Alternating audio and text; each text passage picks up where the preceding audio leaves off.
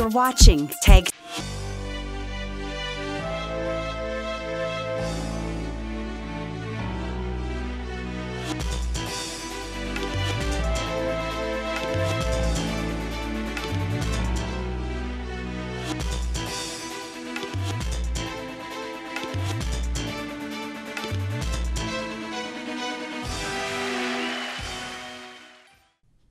India is well known around the world owing to its historical background, diverse cultures, and interesting traditions.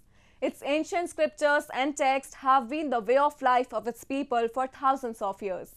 Today, the country is taking huge strides in the field of science and technology, paving a way towards a progressive India. So, friends, I'm your host Shreyasa Vijay, and today, in our episode of My India, We'll take a look at some of the stories that very well showcase the unique culture and prosperity of our country stretching from Himalayas to Kanyakumari.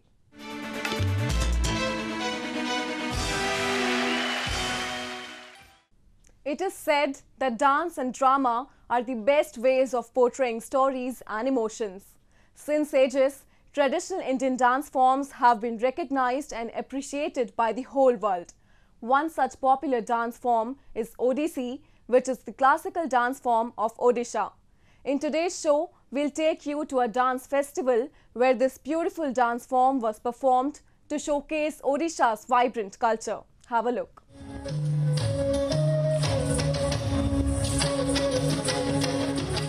Odissi enthusiasts from round the world gathered at the Rabindra Mandap Auditorium in Odisha's capital city of Bhubaneswar to be a part of the International Odissi Festival.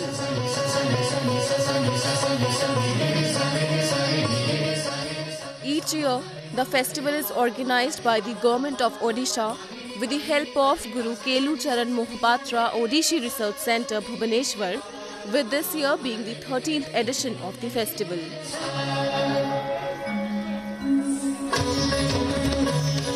International Odissi Dance Festival is held every year continuously from 2006. So where all around the globe the artists they apply and uh, they come to participate. This year also uh, 400 uh, dancers are there and musicians. If you calculate, it is the uh, you can say it's a festival, a get together of five uh, 500 dancers, Odissi dancers from all over the world.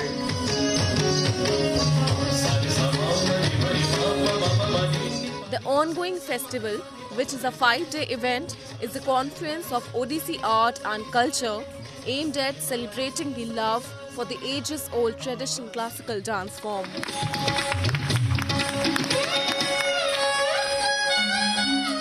Apart from having participants from various states like Gujarat, Karnataka, Tamil Nadu, New Delhi, and West Bengal, the festival had participants from countries like England, Malaysia, and Japan as well.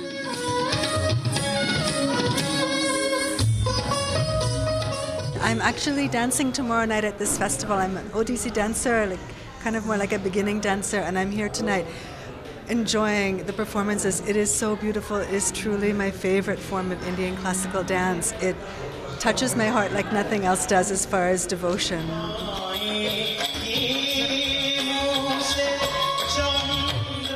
Odissi, also referred as Orissi in traditional Hindu literature, is said to have been originated in the ancient temples of eastern coast of India.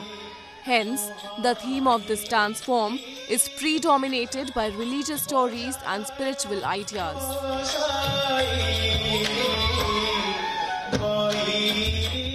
Traditionally, Orissi comes under the dance drama genre of performing arts, wherein a mythical story, spiritual poems, and other stories from texts are played by musicians.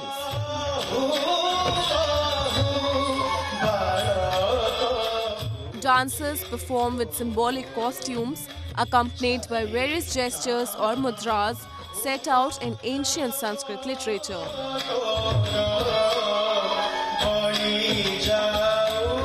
Here we performed about rain. Uh, especially uh, in rain there is an uh, the atmosphere is with uh, is filled with romance and love. So here we performed the uh, love between the two people that uh, if the, the female is in one country and the male is in another country. So the female through a pigeon sends message to her beloved to meet her and uh, she writes down all her feelings in a paper and sends it through the pigeon to the mail so that is our theme today. It was a very nice experience to perform over here.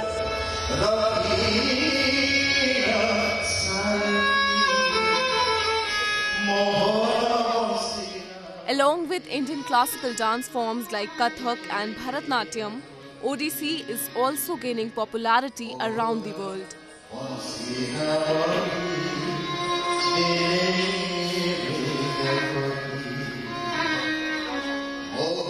A hallmark of India is its diversity. People from different religious and cultural backgrounds live here amicably. It is this unity that brings people from different communities to share their joy and grief together.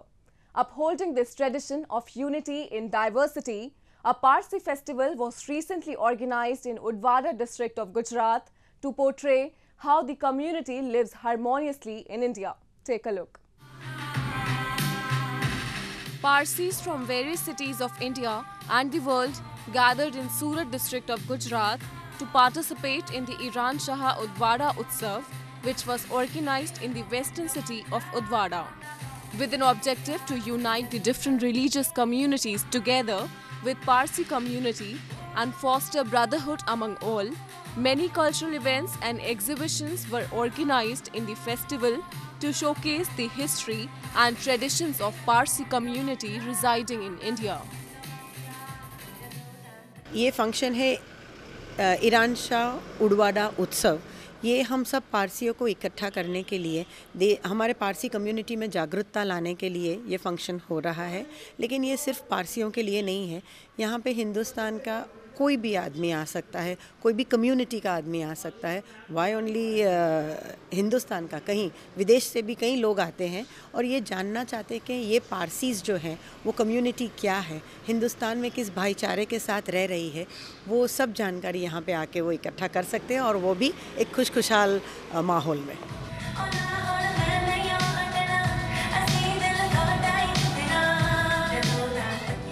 Marking the third anniversary of the biannual festival, a large number of people from Parsi community and visitors from different communities in India and abroad attended the festival.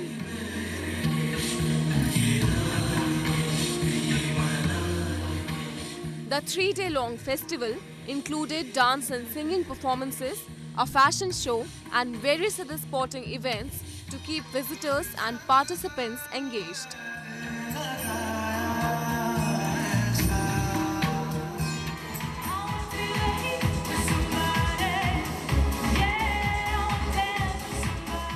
The fashion show organized during the festival portrayed Parsi clothing and their traditional attires that took the viewers on a ride into Parsi culture.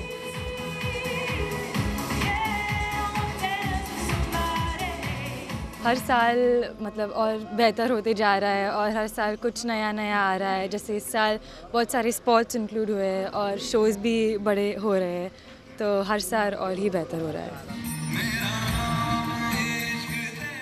There are around 58,000 Parsis in around 1.3 billion population of India. The Parsis have been residing amicably with other religious communities, adding to the nation's glory and its stature.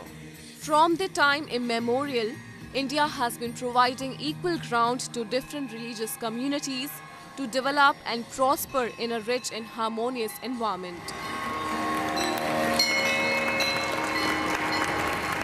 Now, a roundup of some of the major stories that made news recently.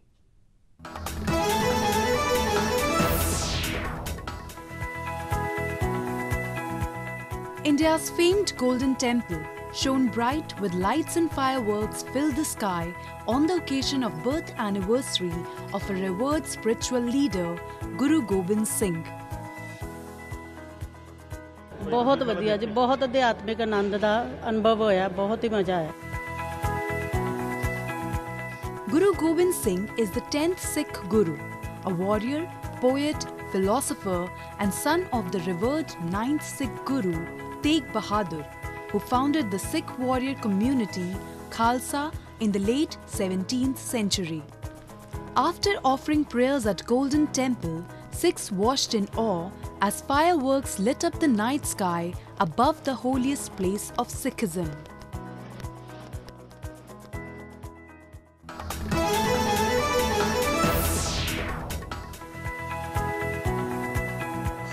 A 12 day long river fair, Dwijing Festival, is grabbing eyeballs in India's northeastern state of Assam with hundreds of tourists thronging the banks of River Ai to take part in the New Year festivities. यहाँ पे हर कोई मौज मस मौज मस्ती adventure sports culture music सब मिलेंगे आप लोग को The festival has a number of activities including adventure sports, helicopter rides, elephant rides, and gives tourists first hand experience of Assam's ethnic culture and cuisine. The cultural extravaganza is being held annually since 2016 and provides employment opportunities to the local population while also promoting river tourism in the state.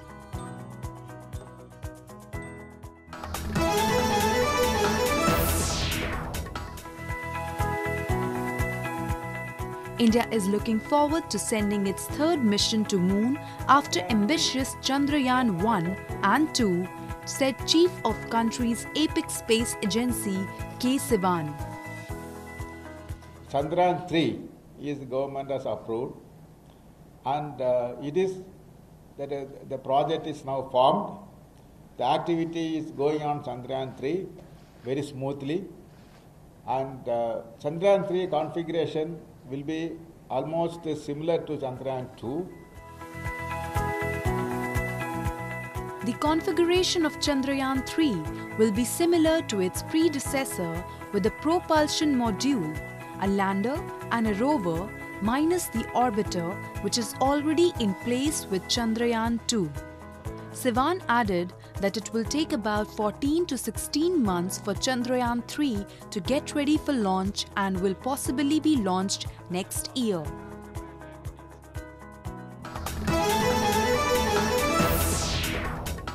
Moving on, Japan with its latest technological advancements is certainly revolutionizing the world around. Along with its technology, the country's food culture is also garnering praise across the globe. At one side, Ajinomoto, a giant in Japanese food market, is providing safe and healthy meals to the people of Thailand, giving them a taste of Japanese food. On the other hand, hot springs in Japan's Kusatsu town are becoming a popular tourist hotspot, attracting visitors from around the world. Take a look. A park in Thailand's capital Bangkok attracts many people who come to enjoy sports when it gets cooler in the evening. Thephasadin Stadium is popular as a spot for sport and there are a lot of people who love to jog or running here. Team Beyond is an amateur running team.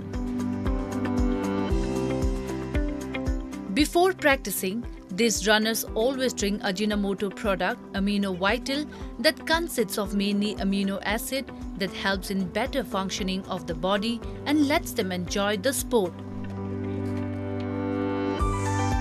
ตัวอะมิโนไวทัลเนี่ยตอบโจทย์มากๆ ไม่ว่าจะเป็นในเรื่องของการให้พลังงาน ในเรื่องของการรักษาแล้วก็ควบคุมกล้ามเนื้อให้มีประสิทธิภาพในระหว่างที่เราวิ่งอยู่ โดยเฉพาะคนที่วิ่งระยะทางไกลๆเนี่ยจะสามารถเรียกว่าการวิ่งเนี่ยมันจะมีประสิทธิภาพมากขึ้นครับ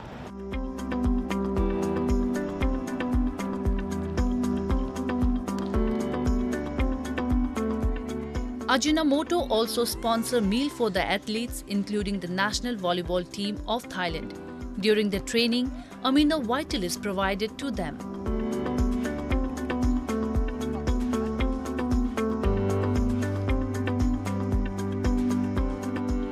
ก็อย่างในการแข่งขันโอลิมปิกที่เราจะถึงนี้ในปี 2020 ข้างหน้านี้นะคะ แน่นอนเลยค่ะ เราต้องใช้อยู่แล้วอะมิโนไวทัลทุกตัวถือว่ามีประโยชน์ที่สูงสุดสำหรับนักกีฬาของเราค่ะ A dish made from vegetables and meat is prepared for the athletes by using seasoning of Ajinomoto. It gives a taste of homemade food.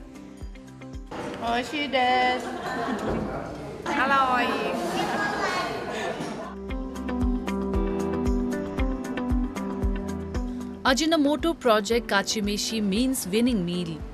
Kachimeshi is a nutrition program to improve the nutritional needs of athletes.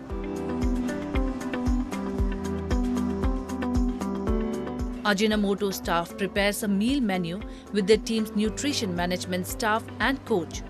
Amino Vital is popular among professional and amateur athletes. จริงๆ Amino Vital เราตั้งใจที่จะพัฒนาศักยภาพของนักกีฬา ไม่ใช่เฉพาะในประเทศไทยค่ะ แต่ว่าในเอเชียทั้งหมดด้วยก็คาดหวังว่า Amino Vital จะช่วยให้นักกีฬาในโซนเอเชีย มี performance ที่ดีขึ้นค่ะ แล้วก็กระจายขายทั่วไปเป็นที่นิยมในโซนเอเชียทั้งหมดค่ะ Ajinomoto enhances taste and contributes to sport development in Asia. Moving on, hot springs in Japan's Kusatsu town attract visitors. Japan is a hot spring heaven with over 3,000 hot springs existing all over the country. The Japanese name for this gift of nature is onsen, and here Kusatsu Onsen in Gunma Prefecture is one of Japan's most famous hot spring resorts. It is blessed with large volumes of hot springs which helps cure several illnesses.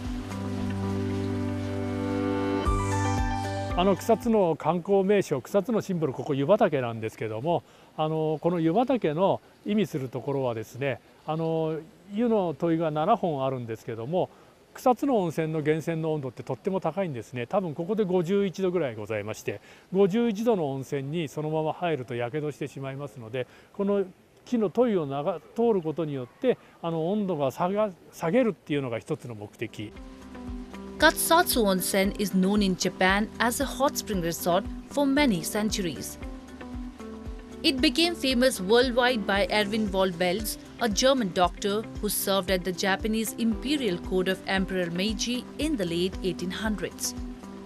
He recommended Kusatsu for its water's health benefits.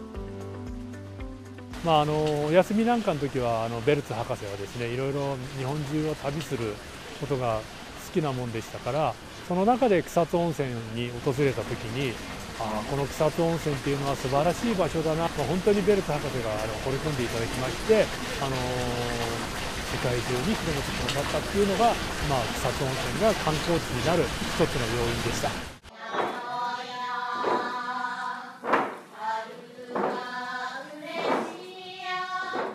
Another tourist attraction in Kusatsu Onsen is the traditional Yumomi performance where ladies sing about the benefits of Kusatsu Onsen while mixing water using boats or food.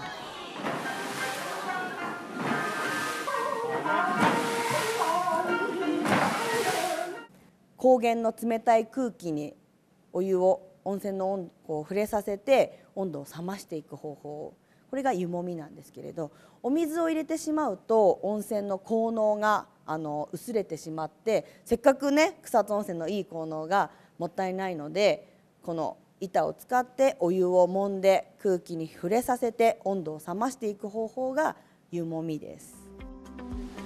Katsatsu is located at an altitude of 1200 meters above sea level in the mountains, so it can offer skiing in winter and hiking during the rest of the year to be enjoyed in combination with refreshing hot spring bathing. Moving on, Sufism has entrenched itself at the center of cultural and spiritual life in India. The Union Territory of Jammu and Kashmir serves as the richest reservoir of this tradition, and this can be well witnessed during the Urs of Sufi saints in the region when people cutting across religious lines gather under a roof. So, giving a glimpse of this unique devotional culture, today we take you to the 41st Urs commemoration of Mia Mahmood Saab that was recently commemorated in the Rajouri district of Jammu and Kashmir. Take a look. The shrine of Sufi saint Mian Mahmud Saab, located in the Chaprian village of Rajouri district, is an abode of peace and tranquility People cutting across all religious lines gathered at the shrine to attend the 41st Urs of the Holy Saint. They offered special prayers at the shrine and wished for peace and prosperity to prevail across the nation. ये तो एक संगम है भाईचारे का प्यार का और मोहब्बत का और खानकाओं में यही दुआ की जाती है अल्लाह ताला हमारे मुल्क में हमारे जम्मू कश्मीर में अमन दे और आपसी भाईचारा जो है ये कायम रहे और बुजुर्गान दीन के यहाँ पर कोई यहाँ पर मज़हब नहीं देखा जाता कोई नस्ल नहीं देखी जाती जहाँ जैसी अकीदत जो लेकर आता है वैसा ही वो दामन को भर देते हैं As a part of celebrations, Sufi scholars and imams sermoned the public on the life, religious services, teachings, and spiritual strength of the saint who devoted himself in service of the public good. Forming an integral part of the public ethos for the last several centuries, even today, the Sufi traditions play an important role in the lives of the people and connote them with an understanding of the world in all its spiritual dimensions. ऐसे उर्स जो होने चाहिए जहाँ पे तमाम community के लोग जो पार्टिसिपेट करते हैं दीन के बारे में बातें होती हैं दीन दीन हमें यही सिखाता है कि आपस में जो है प्यार से रहना चाहिए तो ऐसे उर्स का बड़ा फ़ायदा होता है काफ़ी चीज़ें जो है दीन दीन की जो है दीन सीखने की मिलती है यहाँ से तो मैं यही कहूँगा कि ऐसे उर्स में जो है लोगों को ज़्यादा से ज़्यादा पार्टिसिपेट करना चाहिए The Urs commemoration of the Sufi saint and the number of devotees coming to the shrine clearly indicates that the lesson of humanity and compassion towards all religious communities is still having its roots deeply embedded in the culture and traditions of India. India has a long and glorious tradition of painting. Many of its artists, including M.F. Hussain and Amrita Shergill, are known around the world for their creativity and out-of-the-box approach. One of them is Raja Ravi Varma, considered a pioneer of modern Indian painting who was among the most celebrated artists of the 19th century. Recently, a painting exhibition was held at Vadodara where a follower of Raja exhibited his artworks. Raja Ravi Varma occupies a special place in the history of Indian art. He's famous for giving faces to Hindu gods and goddesses through his paintings. Ravi Darshan Vyas, based in Gujarat's Gondal district, has been following Raja Ravi Varma's painting style since the last five years. A painting exhibition which draws inspiration from Raja Ravi Varma's paintings and artworks was organized in Vadodara where Vyas's art was on display. 2003 में uh, inspiration hua. कि मैं seriously उनकी जो शैली है, उसको follow करूँ। तो राजा रवि वर्मा की शैली और मेरे ट्रैवल के दौरान जो भी लोकेशंस मुझे पसंद आए, श्रीलंका है, थाईलैंड है, या तो ललित लक्ष्मी विलास पैलेस ही ले लीजिए तो उसको मैंने क्लब करके ये एक अनोखी सीरीज़ बनाई है। जिसमें मैथोलॉजिकल कैरेक्टर्स भी है लोकेशंस भी इतने खूबसूरत है। काठियावाड़ के सीन्स भी इतने खूबसूरत मैंने लिए हैं फैमिली वार्ड्रोब में से मैंने काफ़ी चीज़ जो मुझे पसंद है उसको इंक्लूड किया है Following Verma's style of painting mythological characters, Vyas has painted characters like Urmila, Subhadra, and Meera. Out of all his paintings, painting of Bhuvneshwari Devi is his most recognizable artwork. मुझे बहुत अच्छा लगा यहाँ आकर being बरोडियन art तो हमारे जीवन में वैसे भी है ही बिकॉज़ हम बरोडियन हैं कहा जाता है कला नगरी और कला नगरी की शान में ये जो शाम है वो भी बहुत सुंदर है। और अ, जैसे मैंने सुना है कि ये जो पेंटर है डॉक्टर रविदर्शन व्यास वो राजा रवि वर्मा से काफ़ी इंस्पायर्ड हैं तो वो सारी झलकियाँ जो हैं वो हर पेंटिंग में हमें दिख रही हैं। और मुझे जो सबसे ज़्यादा अच्छा लगा वो है कि ये सारी पेंटिंग सिर्फ़ देखने में नहीं लेकिन पढ़ने में भी उस, उसका इतना मज़ा है। हर पेंटिंग के पीछे जो एक डिस्क्रिप्शन है वो बहुत ही महत्व रखता है The exhibition is not just a display of Vyas's paintings and artworks, but also a tribute to one of the best artists of India. That's all we have for you this week. Your comments and suggestions are important to us. Do give us your feedback at myindia at anin.com. I'm your host Shreyasa Vijay and it's goodbye from the entire production team.